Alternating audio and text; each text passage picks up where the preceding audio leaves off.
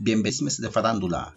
Nos encontramos muy satisfechos al saber que nuestros seguidores se siguen multiplicando a nuestro canal.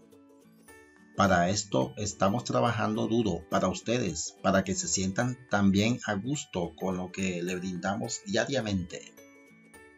Si usted es nuevo aquí, le pedimos a que se suscriba y active la campana para cuando haya nuevas notificaciones no se pierda de los nuevos videos.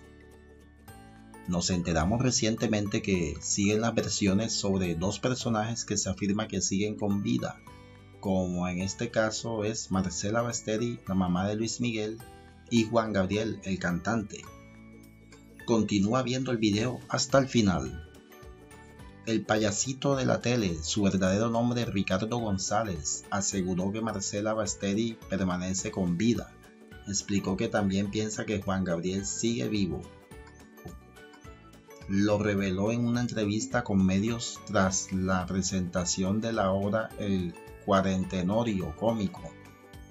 Agregó que considera que Basteri sigue viva por la misma razón por la que piensa que el divo de Juárez sigue vivo, y es que nadie le ha mostrado una acta de defunción, explicó.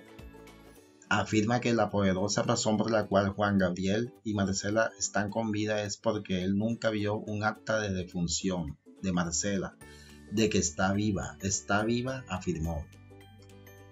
A su parecer, Basteri contaba con fondos para estar en diferentes países como Argentina, España o incluso al lado de su célebre hijo. González afirmó que Luis Miguel es padre de dos hijos, a quienes no visita regularmente.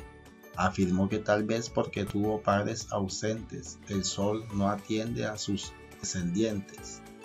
Esperamos a que nos dejen sus comentarios, se suscriban y compartan este video. Nos vemos muy pronto.